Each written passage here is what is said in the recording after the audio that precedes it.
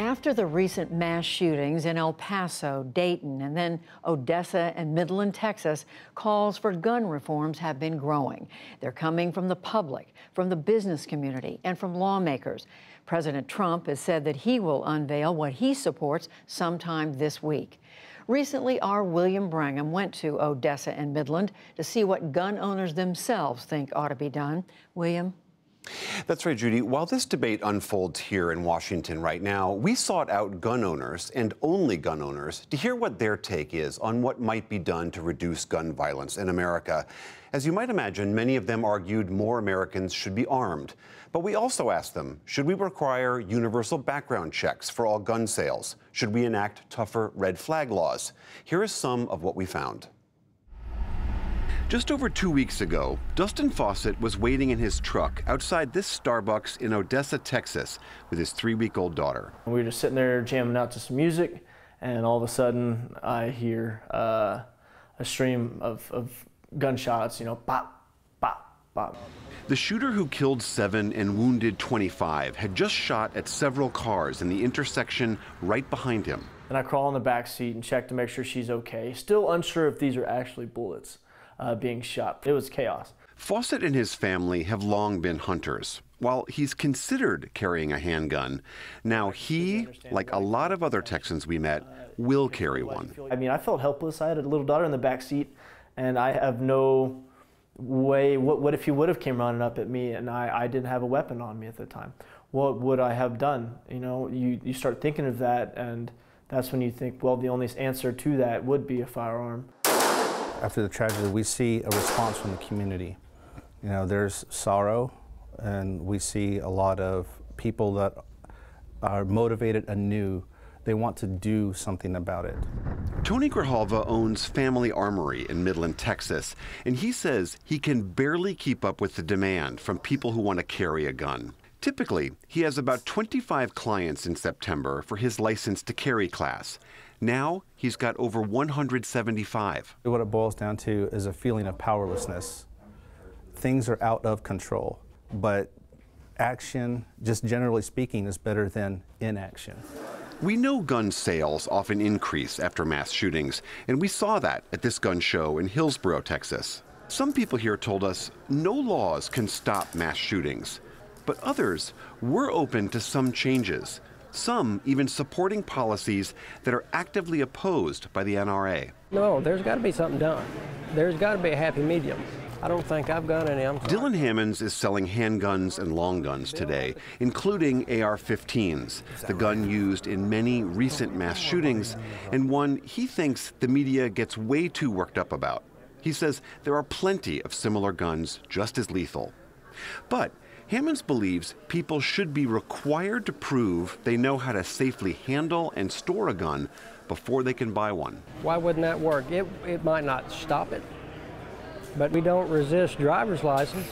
They'll gladly go down and pay their money to get a driver's license so they can jump in the car and go to Walmart and buy beer. They have no issue with that. But as soon as you have to have a license to buy one of these, they don't want anything to do with it. I'm going to look at the serial number here. Karen Barlow and her husband Gary own a gun store in Wichita Falls, Texas.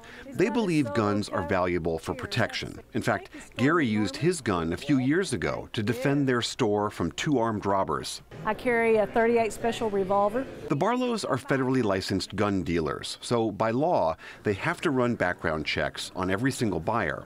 But at gun shows like this, and in millions of private or online sales across the country, there's a loophole, and that check isn't required. The shooter in Odessa reportedly failed one of these checks in 2014 and then bought his AR 15 privately.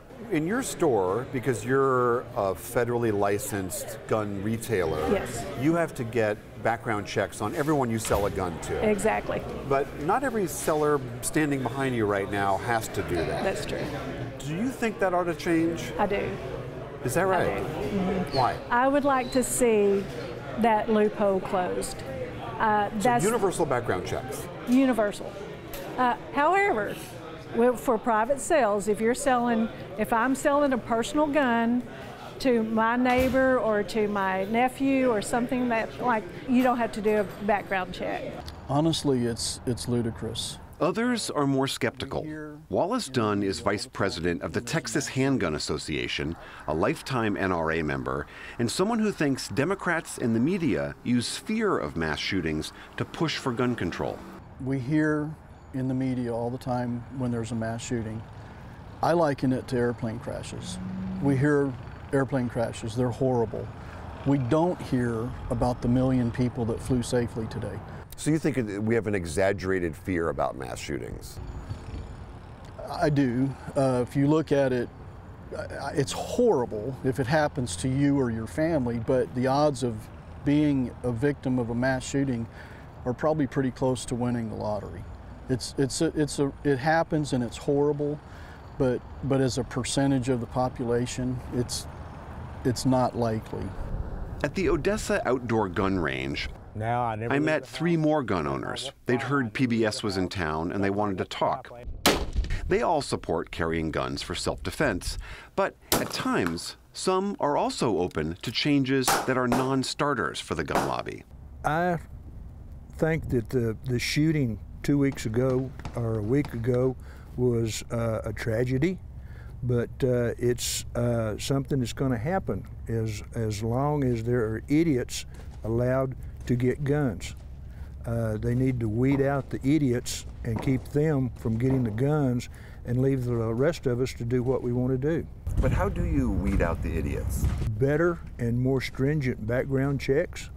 Uh, I would be willing to wait uh, a week, two weeks to get a new gun if in the same venue in that week or two weeks they found out that there was somebody trying to get one that didn't need one. I think it's more of a mental health issue. I'm an NRA member and I'm not against a background check at all. But I feel like our morals have changed so bad. So you think the problem that we have with violence is because morality has slipped, not because people are armed more or have access to guns more? Correct. What about this question of what are called these red flag laws, where if someone is worried about someone they know, thinks they're on a downward spiral of some kind, and alerts the authorities, and that the authorities check that person out, and if they determine there's a problem, possibly take their guns for a period of time? I have mixed feelings about that. We heard this from almost every gun owner we talked to in Texas. People think red flag laws won't help, and they think people will abuse them by falsely reporting perfectly fine gun owners that they just don't like.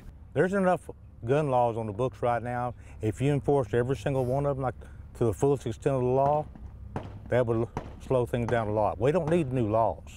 We need enforcement of existing laws. Empathy to people too. I mean, I think you need to have empathy. I mean, just reaching out to your neighbors and your family. I mean, talking to people instead of just Facebooking and uh, talking about the left and the right. You know, reach out to your Democratic or Republican neighbor and say, hi, how are you doing? I would like everybody else in the nation would like to find the solution to stop all these rampages. That's the only reason I carry a gun anymore. Used to never have to worry about it. Contrary to popular lore, Texas isn't a particularly gun heavy state. About a third of adults here own them, which is pretty close to the national average.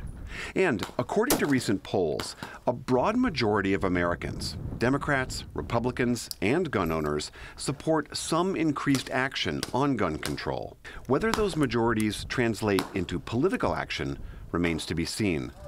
For the PBS NewsHour, I'm William Brangham in West Texas.